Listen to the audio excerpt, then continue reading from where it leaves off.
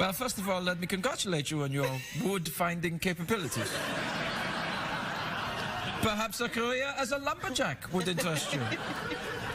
But see, now this is helping. That's very good, It's helping yeah. me, anyway. Now I I feel really stupid for touching wood. never feel stupid for touching it. never. My boobs also thought I'd had 12 children. And steps her and she's like, Ugh. Uh, this nice man called Lex Shrapnel. Lex Shrapnel? What a name, right? Wow! that, are you kidding me? That's the best name I ever heard! Lex Shrapnel? It's amazing. Yeah! Absolutely! Lex Shrapnel, book him! Book him right now! Make believe attack. Then go for the balls, right?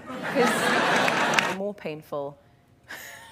I can't believe I'm talking about this. And I want. I'm glad you asked. I think there's a correlation. I think it's you should look at this. What, taking LSD? No, gosh, no. No, absolutely not. No, I really, honestly don't do that. That's, I wish I'd never done it. Really? Oh, it's terrible business. Really? How many What years happened did to you me? A punch in the ball is worse. Okay. Is much worse. Okay. He's wrong. Okay, but what I've been tapped on the balls many times. I find it pleasurable. Yeah.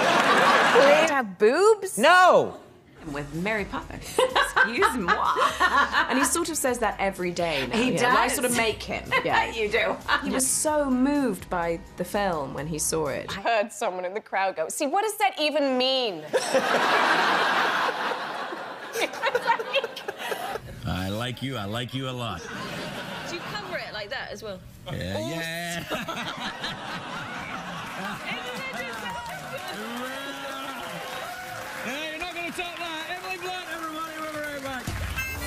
What is that? What does DQ stand for?